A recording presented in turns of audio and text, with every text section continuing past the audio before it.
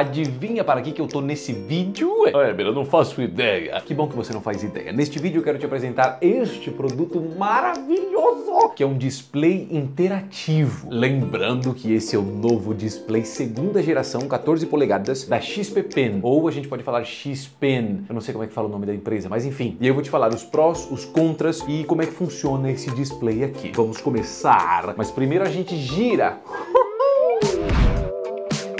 Display interativo nada mais é do que um monitor. Ah, um monitor, nossa, que sem graça. Então, eu sei que parece meio sem graça, mas assim, além dele ser um monitor, ou seja, você conseguir enxergar a imagem através dele, você consegue usar uma caneta. Essa caneta faz a mesma função do mouse. Então, ele é muito legal para você desenhar, fazer modelagens 3D, para você fazer animações, qualquer coisa que exija um tipo de interação fica muito mais legal, porque aí você consegue vir diretamente na tela e fazer as coisas rabiscando diretamente aqui. Então, o display interativo é isso.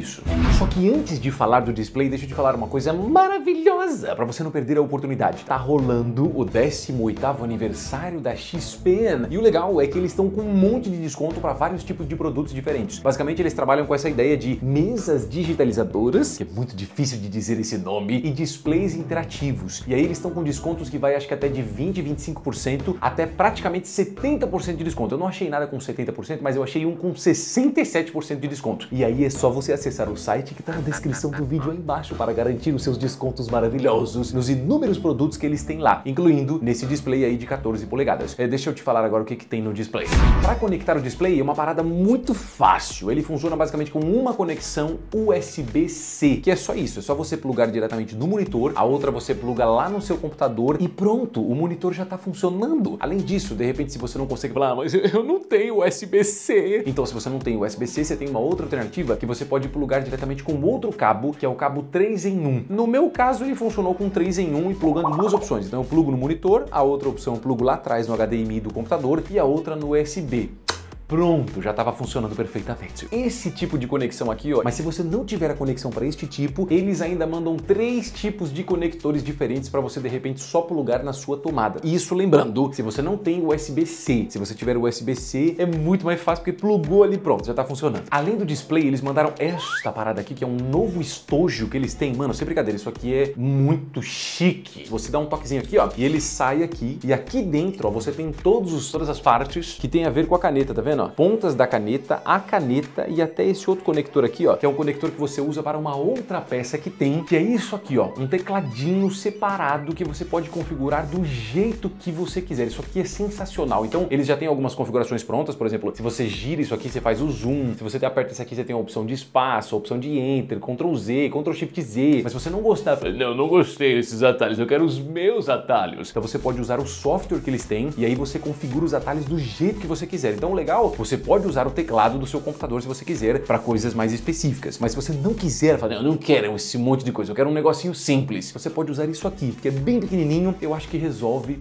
tranquilamente. Mas além disso, eles têm esta luvinha aqui, ó. Deixa, deixa, eu colocar a luvinha porque eu acho ela muito chique. A ideia da luvinha é ela te ajudar para que você não fique com esses dois dedos aqui e essa parte da sua mão encostando na tela. Eu não, eu não tenho muito isso, assim, até porque eu não uso ela muitas e muitas horas direto. Mas é normal você transpirar, oleosidade na pele, que pode ser que fique pegando ali no monitor e te atrapalhando. Então isso aqui é uma boa maneira de você proteger tudo isso. Aí na descrição do vídeo, que eu sei que eu já falei, é, você já falou da descrição do vídeo que tem o link. Então, eu falei disso, mas o que acontece é, acompanha aí a XP na rede social porque vai ter um monte de promoções aí, concursos de desenho, sorteios de produtos e um monte de outras coisas que tem várias paradas que são segredo. Então o que, que você faz? Vai na descrição do vídeo aí e segue eles nas redes sociais para você acompanhar tudo que tá rolando.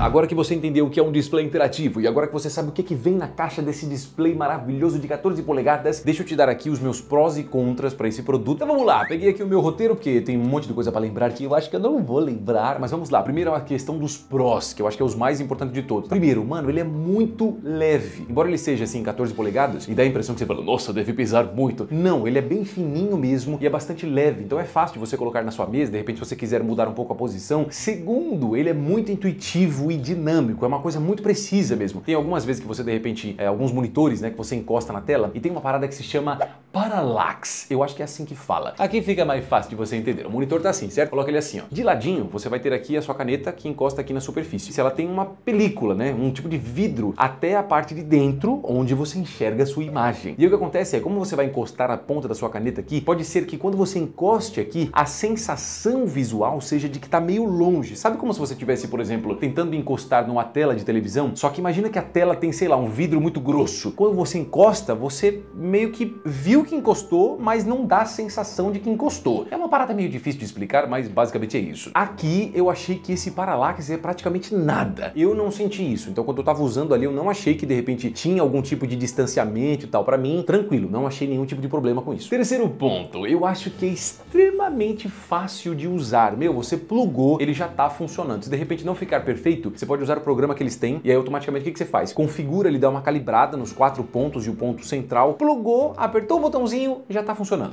É claro que agora tem os pontos negativos. Vamos lá, primeiro ponto negativo é que esse modelo é um pouco pequeno pro que eu tô acostumado, mas isso não é, eu não vou dizer, Ah, a culpa é desse monitor aqui que é zoado. não, o monitor é maravilhoso, esse display aqui é incrível. Só que acontece o seguinte, eu tô acostumado com um monitor um pouquinho maior, né? Meu monitor aqui atrás, ele tem acho que 32 ou é 34. Então demora um pouco para você acostumar com ele. Só que ao mesmo tempo, você não tem como ficar muito longe dele, né? A ideia é você ficar relativamente perto para você fazer aqui as coisas na tela. Então, se você for pegar um desse e falar, nossa, eu gostei, eu vou comprar um display interativo, o que, que eu acho que seria legal você pegar? Vai no 16 polegadas. O de 14 polegadas é legal, se você não tiver como pegar o 16, vai no de 14, mas se tiver como, eu acho que o de 16 vai atender você um pouco melhor. Ponto positivo, oh, ponto positivo. Ponto negativo número 2. Se você tem dois monitores, que como no meu caso, uma coisa meio chatinha que às vezes você tem que fazer é definir esse display como monitor principal. Por quê? Porque se você tá de repente, sei lá, no Photoshop fazendo alguma coisa, quando você aperta ali alguma, um atalho, né, para fazer algum ajuste, tem aquele pop-up que abre, né, do ajuste que você vai fazer. Esse pop-up pode abrir lá no seu outro monitor. E aí isso não é legal. É legal você ter isso diretamente no display, mas quando você for usá-lo, é legal de você configurar ele sempre como monitor principal 1. Aí as coisas funcionam mais tranquilamente. O terceiro ponto negativo, ele tem aquela questão de antirreflexo. O antirreflexo dele é bom, mas eu acho que poderia ser um pouquinho melhor, dependendo do ângulo que você está usando, porque ele tem uma parte de trás que você pode deixar um pouquinho mais alto, né? Eu não gosto muito, eu prefiro deixar ele na superfície lisa mesmo, deitadinho. Mas dependendo do ângulo que você tá ou da posição das luzes que tem no seu ambiente, pode dar uns reflexozinhos assim que não são muito legais. E aí você tem que dar uma ajustada, vir um pouquinho mais para esse lado para ter o melhor resultado. Então uma porcaria? Não. Mas enfim, tem esse ponto negativo que eu tenho que falar.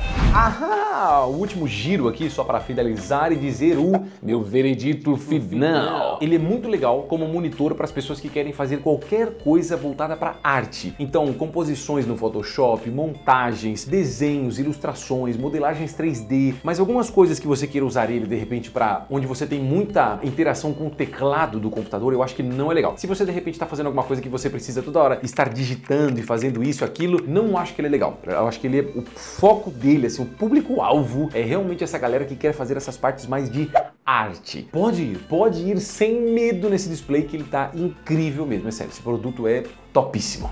Antes de ir embora, eu vou dizer mais uma coisa muito importante que é, não esqueça, link na descrição aí da XPen com todos os produtos que tem. Não esqueça de aproveitar esse período de aniversário deles, porque tem descontos incríveis. É sério, eu tô achando que eles estão até meio loucos, porque tem desconto demais, assim, tem uns produtos que estão 50, 60% de desconto. Não vai perder essa chance de garantir pelo menos uma mesa digitalizadora que é incrível. E é exatamente dela que eu vou deixar um vídeo aqui do lado, para você assistir e entender um pouco mais sobre mesas digitalizadoras pode ser legal de você assistir antes de escolher entre um display interativo e uma mesa digitalizadora. Então assiste aí.